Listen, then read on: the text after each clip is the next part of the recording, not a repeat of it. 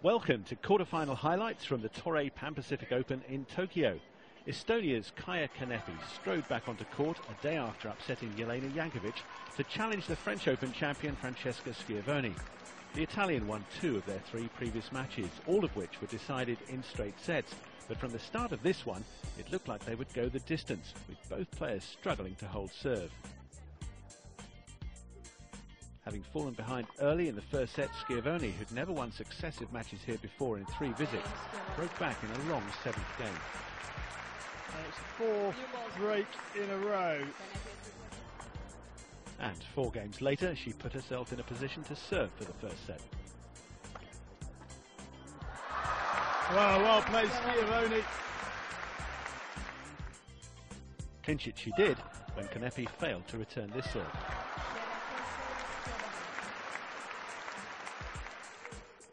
Somewhat surprisingly, the first five games of the second set went with serve before Kanepi hit with sufficient depth and weight of shot to force another break of the Italian serve and lead 4-2.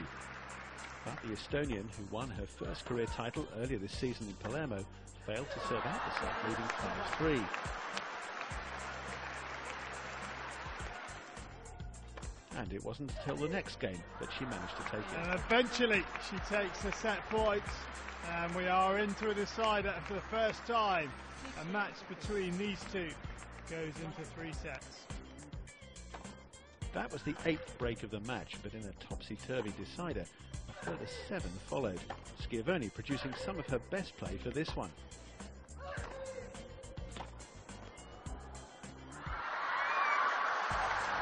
Lovely play from Schiavone, and she breaks at the third time of asking.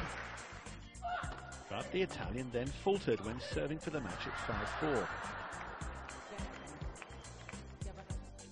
Yet, great competitor that she is, and attempting to reach her fourth semi-final of the year, Schiavone found a way to break again in the next game, and after 3 hours and 9 minutes, finally triumphed 7-5, 4-6, 7-5.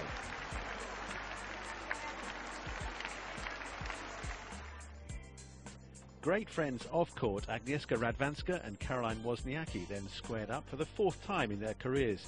Wozniacki had won the last two meetings, including a semi-final this year in Indian Wells, and it wasn't long before the top seed broke clear in Tokyo.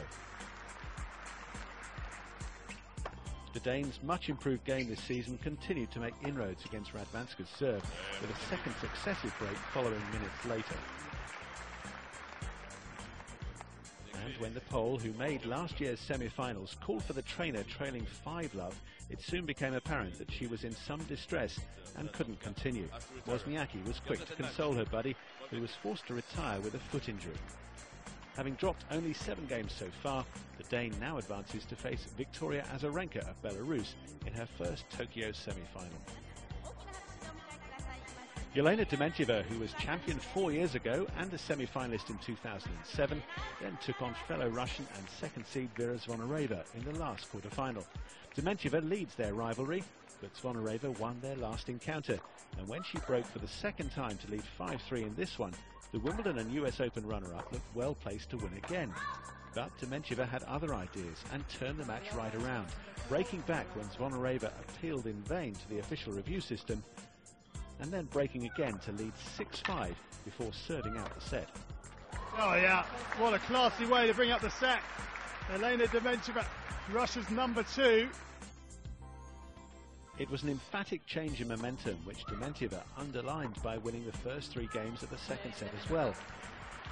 It is a double break. And although Zvonareva twice pulled one of the breaks back, she kept failing to hold her own serve as Dementieva pummeled her returns. And so, after an hour and 41 minutes, the seventh seed clinched victory for a semi-final showdown with Francesca Schiavone.